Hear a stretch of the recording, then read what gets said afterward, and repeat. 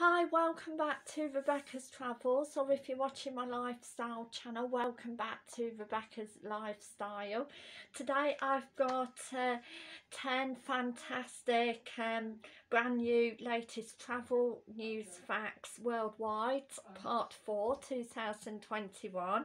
So uh, let's jump right into it. Now, according to breakingtravelnews.com, I have got 10 fantastic brand new travel facts.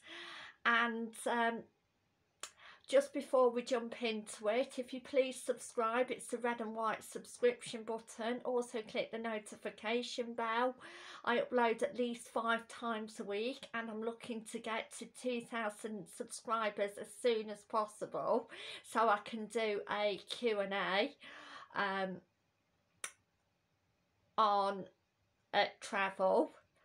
Um, so let's jump right into it.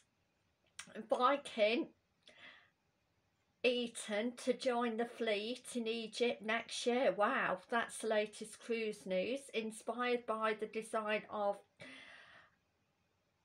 uh, the award-winning Viking longships and uh, built specifically to navigate the Nile River, Viking Acton is currently under construction and is scheduled to debut in late 2022. Wow. So good luck to Egypt and Viking um, for that. Hopefully it goes as well as possible. Number two, Mauritius looks to boost its tourism sector with a vaccine rollout. That's the latest tourism news uh, from Mauritius. Um, Mauritius um, has launched its COVID-19 vaccination programme giving priority to frontline workers including healthcare professionals and employees of the tourism industry. Wow, uh, that is absolutely fantastic news. Uh, go Mauritius um, and hopefully um, people will be able to start travelling more um, in the future um, when uh, places go at COVID free or very low COVID levels, fingers crossed. Um, and uh, number three, Accor launches new partnerships with Faena Group. Uh, that's the latest hotel news. The global uh, strategic partnership is focused on expanding the brand around the globe. Wow. The deal has uh, received earlier by Alan Faena and Sebastian Bazin, Chief Executive of Accor. Wow, that's really good news um, for Accor and the Faena group. Hopefully it goes as well as possible, fingers crossed. And number four, Rolls Royce issues a dire forecast for year ahead. That's uh, latest airline news. And um, number five, Travel Industry Alliance uh, launches in the UK. Um, so hopefully um, have a look into more detail on that and maybe do a travel uh, video on that. Um, again you can let me know in the comments box um, if you would like to me to do a travel uh, video um, on anything um, uh, to do with travel wise just link it that uh, just to put it in the comments box um, and um, any questions that you want me to answer. Um, Devada takes up uh, PR director role at Black um, uh, Tomato.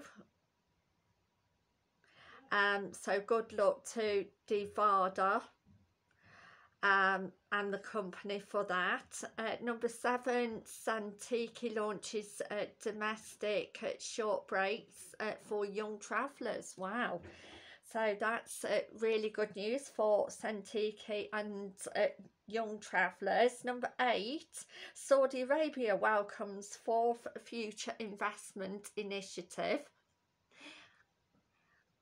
Um,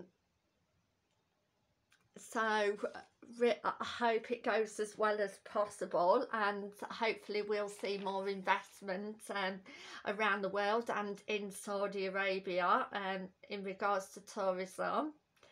Um, and again I hope it goes as well as possible. And number nine Hyatt um, hotels uh, place at Tallinn to debut in 2023 um, that's again latest hotel news so good luck to Tallinn and um, the capital and Hyatt for that.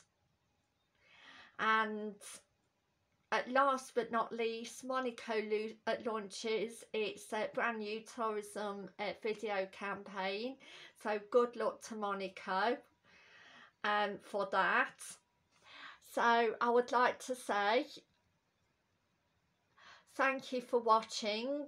I appreciate all you subscribers and viewers and um, I'll see you in my next video which is uh, tomorrow at 6.30 it is going to be um, upcoming travel destinations 2021 and um, also you can uh, keep on watching um, other playlists on my travel channel or um, go, uh, go over to my lifestyle channel um, to watch videos and subscribe to that if you wish so I would like to say uh, thank you for watching and everybody stay safe and good luck and um, in the future to everybody uh, whatever you're doing and bye for now. Thank you. Bye